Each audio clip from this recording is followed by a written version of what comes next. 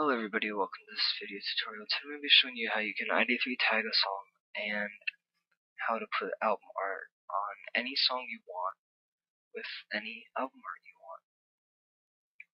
So here I've got Akon Belly Dancer and as you can see there is no album art whatsoever. And I have my folder set to show the number of the song in the album, the title, contributing artist, which is the artist on the song, and the album itself. Now, you can see that there is a title here in the name, but there isn't a title here. If there's no title or artist here, then it's not going to show correctly on an iPod, or a radio station, or anything for that matter. Most cases it will show a blank.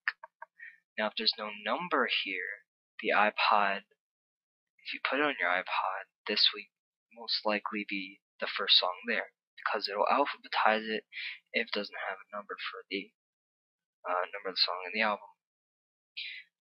Now, if you just right click, go to Properties, Details, you see Description, Media, Audio, Origin, and a whole bunch of other junk. The only thing you really have to worry about is the description. You have to worry about the title and that is Belly Dancer. The contributing artist, which is the artist itself, would be Akon. So that's how you ID3 tag a song. You can add the album, which I think this one's Konvicted, I'm not really sure. I'm not even sure if that's how you spell it because I'm not really a huge fan of Akon.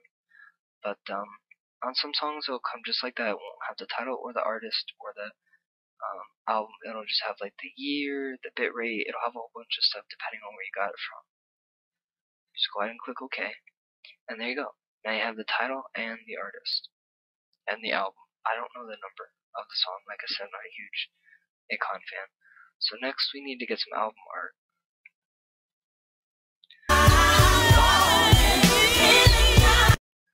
And I'm going to search up Akon Beautiful album cover. Now, oops, not beautiful, my bad. Belly Dancer is what I want to search up. Now, not every song has an album art to it. Album art and album cover just about the same thing. Now, you, whatever you want, you get. I'm going to go ahead and go with that actually has the artist and the song name. Now, as you can see here, the dimensions are 350 by 350. I think usually album art is about 500 by 500. It could be even higher. I don't know exactly. I do album art 140 by 140 because it fits um, Yahoo's display picture resolution, even though the resolution for that is 255 by 255.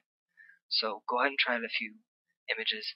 Um, I wouldn't really go over anything that's over 500, but because I'm not going to search through all these images, I'm just going to pick the, this one here that's 350 by 350. And I'm going to go ahead and save it to my desktop.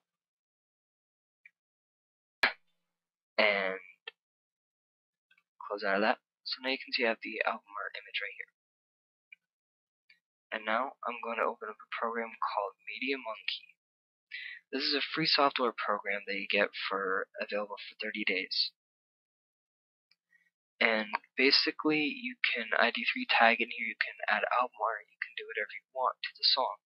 Now, I haven't found a way to add a single song yet, um, because I just add album art, so usually they're in clumps, so I put them into new folders to do it. So you go to File, Add slash Scan, Tracks to Library, or you could just, I mean, you could do one file, but I usually do more than one. So I always put them in folders. So I made one called New Folder and I put it in there, so I'm just going to go ahead and do that. This will pop up asking you if you want to take info that Winamp, iTunes, or Windows Media Player may have saved. I don't think, if you don't have Winamp or iTunes, you only have Windows Media Player. I think the only checkbox over here is Windows Media Player. I'm not really sure. Because I always have iTunes for my iPod and Windows Media Player um, to listen into my radio with. So I'm just going to uncheck these three boxes and click OK. Next, you right click, you go to properties, you go to the album art, click add, switch for the album art, and boom. And you want to make sure it's cover front. You don't want to uh, make anything else. You don't have to put a description. Now what you can do is if you're going to add this to a whole album, uh, you can click the apply to all tracks on album, but I suggest you use the album's actual art instead of one song's art. And then just go ahead and click OK, it'll take one second. And if I go ahead and close out of that, now already you can see in this little folder preview here, you can see that it's got the album art. If I just click on this, you can see it has album art down there. If I double click it to open it, you can see it's got the album art. And it'll show up on your iPod. And this title will show up as a title spot. The artist will show up underneath the title on your iPod. And uh, that should be the correct way. And then the album, it'll your iPod will sort the songs into albums.